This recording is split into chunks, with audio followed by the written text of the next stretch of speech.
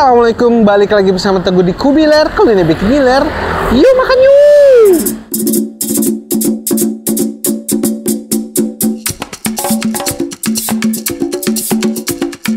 Ini sekarang jam setengah tujuan, gue dikagetkan sama ada yang jualan sate pagi-pagi pakai gerobak motor yang beli ngerubutin, dikelilingin tuh abangnya. Kali ini gue lagi ada di Jalan KSU di depannya Klinik Tirta Husada. Gue penasaran seperti apa rasa langsung kita habak. Tuh lihat tuh, rame bener itu abangnya itu yang jualan sate tuh. Namanya Sate Komo Cak Kris. Jualan sate apa nih? Sate Komo, Sate Komo.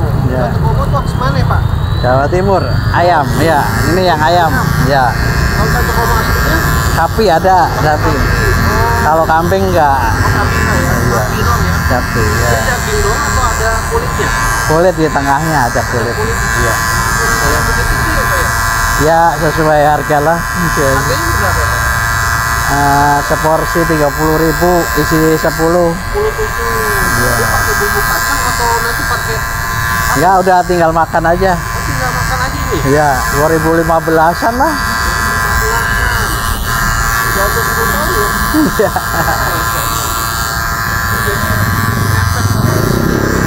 Iya. Ya di sini aja jualannya. Ya ke mana-mana. Bawa berapa tusuk Pak? Ya 300-an lah. 200 lah. Iya. Setiap hari ya? Insya Allah habis lah. Maksimal jam 9 biasanya. Ya kadang kan nggak sampai ya ini kadang kan gitu namanya jualan. Ya itu.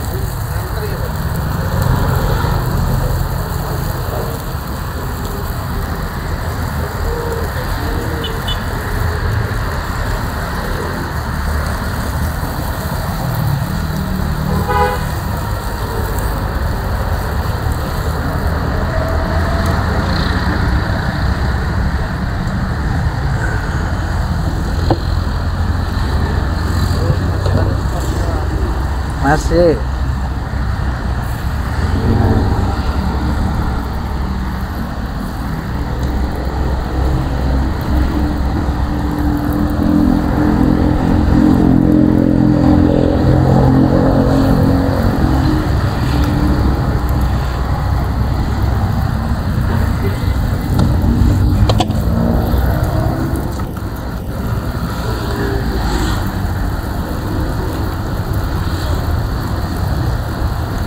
Ini seporsi isi 10. Ya. Ya? Ya, tusuk ini seporsi.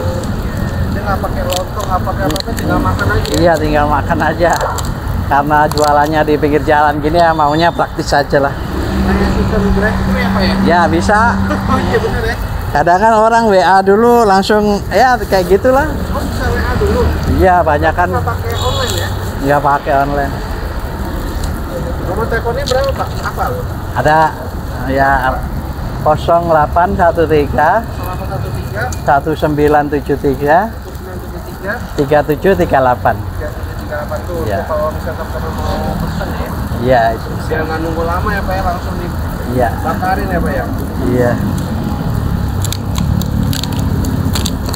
ini karena nggak ada tempat duduk di sate komonya gua langsung nyebrang ke depannya tuh ada yang jualan gado-gado sama es kelapa. Ini gua udah pesen kelapa utuh. Di sini udah ada sate komonya.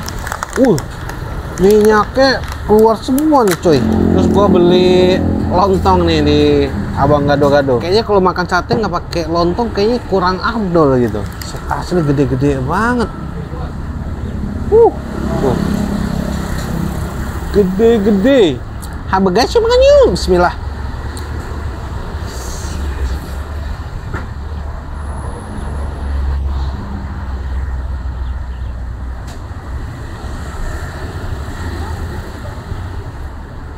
wow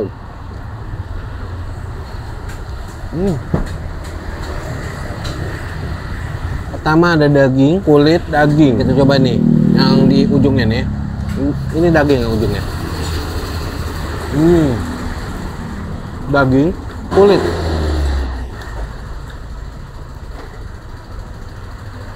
Hmm.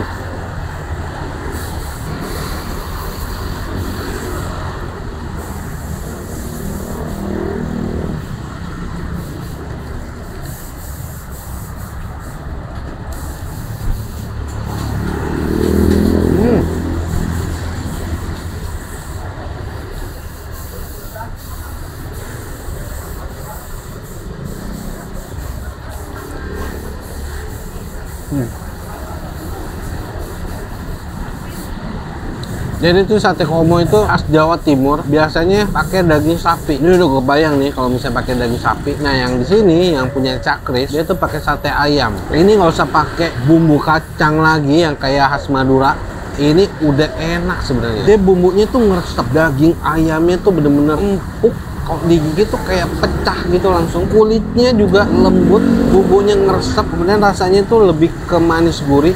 Ada pedesnya tipis. Aroma smokinya yang bikin lagi nih. Abak lagi. Hmm.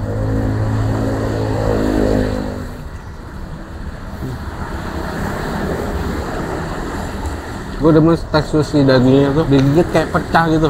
Kalau rasa bumbunya itu mirip-mirip sate Madura. Cuman dia lebih ada rasa pedesnya aja bedanya gitu gua rasa dagingnya tuh udah diolah udah dimarinasi diolah lu tusuk harganya 30.000 tapi worth it sih ukurannya gede-gede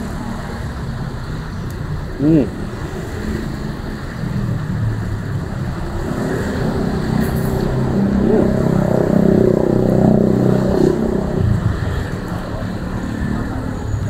Sengaja gue beli dua porsi. Ini yang satu ini buat Umi di rumah.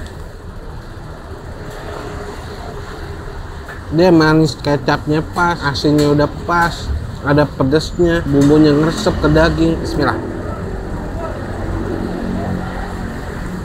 Wah.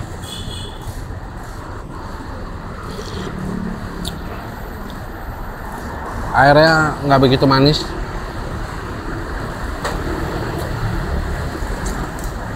Kayak gini-gini nih kelapa tua apa muda ya? Kayaknya sih tua nih. Karena dagingnya tebal-tebal tuh. Kalau yang warna hijau itu apakah manis, apakah muda, apa tua? Kalau warna coklat ini muda apa tua? Gue bingung dah. Yang tahu komen ya. Ini gue udah ngabisin 5 tusuk. Menurut gue sih 5 tusuk aja udah bisa nggajel perut.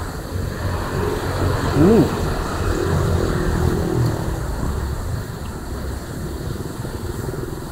Ini kurangnya dia tuh nggak ada acar, nggak ada sambal sama lontong. Terutama lontong ya. Ini kalau misalnya ke sini, usahain sebelum jam 9. Setengah 9 dah, ini udah setengah 9 udah habis. Gua ngeliat di seberang tuh udah habis. Kalau mau jam tujuan, jam 7, jam 8 kayaknya masih ada. Bukanya setiap hari, kecuali hari Senin libur. Jualan dari tahun berapa? 2015. Udah hampir 10 tahun. Bawa 300 tusuk habis. Hitungannya 3 jam. Abak lagi. Hmm.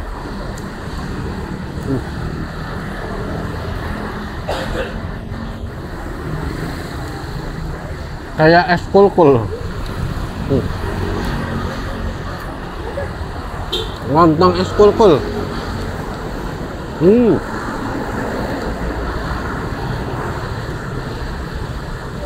terus matangnya itu sempurna dia sampai ke dalam-dalam ya ini smokinya dapat banget hmm. Hmm.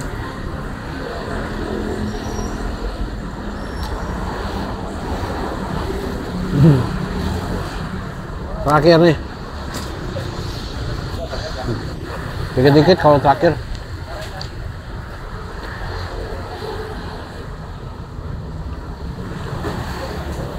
Hmm.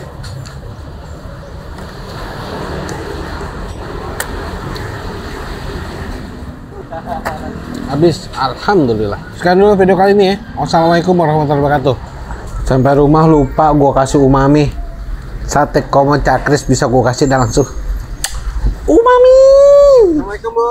Waalaikumsalam. Saya dengan Rere. Ini langganan tetap nih. Iya langganan. iya. Karena rasanya itu beda. Bedanya apa? Uh-uh, beda dari sate yang lain. Antara si lemak-lemak daging sama perpaduan rasanya itu pas banget. Ini sih sebenarnya kalau kata saya rasanya kayak udah sate di restoran. Gitu? Mm-mm, coba deh mas, coba nanti masnya coba. Eh, beda dari sate-sate umumnya yang ada di pinggiran.